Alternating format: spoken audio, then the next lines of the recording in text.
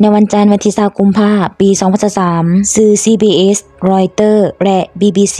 ได้รายงานวิกฤตการณ์บอลลุนสอดแนมลาสุดสหรัฐได้จัดแจงเงินขอเสนอไม้ให้จีน โดยทางแอนโทนีบิงเครน รัฐมนตรีกระทรวงการต่างประเทศของสหรัฐได้ออกมาให้สัมภาษณ์กับสื่ออเมริกันว่าจีนกำลังพิจารณาอย่างจริงจัง ที่ว่าจะส่งอาวุธและเครื่องกระสุนไปช่วยรัสเซีย ในขณะที่สงคราม ซึ่งมอสโก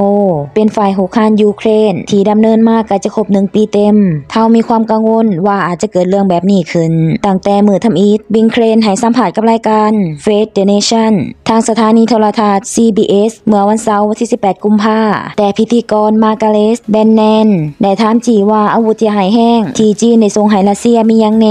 รัฐมนตรีต่างประเทศสหรัฐก็ได้ปฏิเสธที่จะให้คำตอบเจาะจง หวังอี้ กรรมการกรมการเมือง แห่งคณะกรรมการกลางพรรคคอมมิวนิสต์จีน และผู้อำนวยการคณะกรรมการด่านกิจการต่างประเทศ ส่วนกลางของจีน ได้กล่าวกับบรรดาผู้นำโลกในเวทีประชุมความมั่นคงมิวนิกเมื่ออาทิตย์ที่แล้ว ว่าจีนกำลังพยายามทางขอเสนอสันติภาพ เพื่อยุติสงครามเถื่อนี้ทว่าจุดยืนดังกล่าว เบิ่งคือว่าจะขัดแย้งกับสิ่งที่สหรัฐอ้างว่าได้รับข่าวกองมา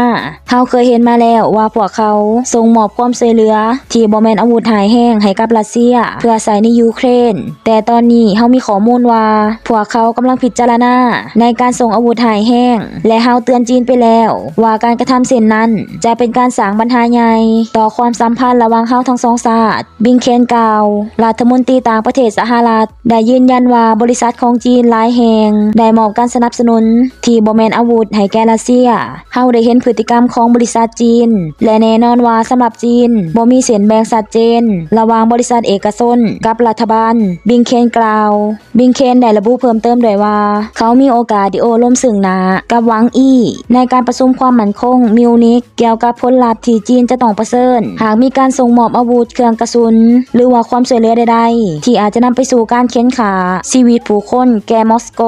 เมื่อพิธีกรในสอบถามบิงเครนว่าวังอี้ได้ขอโทษ ในเรื่องของบอลลูนสอดแนมจีน ที่ว่าได้ลุกลามนานฝ่าสหรัฐเมื่อหลายอาทิตย์ก่อนหรือบอรัฐมนตรีต่างประเทศสหรัฐตอบว่าบ่มีการขอโทษ ในบทสนทนาที่กินเวลายาวนานกว่าหนึ่งชั่วโมงนั้นนับว่ามีประโยชน์เฮาต้องการแน่ใจว่าการแข่งขันระหว่างเฮาทั้งสองฝ่าย จะบ่ลุกลามจนกลายเป็นความขัดแย้ง และในขณะเดียวกันเฮาก็จะยืนยัดปกป้องผลประโยชน์ของเฮาเต็มทีบิงเครนกล่าวดานเยนสโตเทมเบิร์กเลขาองค์กรสนธิสัญญาแอตแลนติกเหนือหรือว่านาโต ก็ได้กล่าวเตือนผ่านเวทีประชุมความมั่นคงมิวนิกด้วยว่าปักกิ่งกำลังเฝ้าจับตาเบิงอย่างใกล้ชิดว่ารัสเซียจะประเสริญความสูญเสีย หรือว่าได้รับรางวัลยังแน่จากการหุกคานเถื่อนี้ ตามรายงานของสื่อ Politico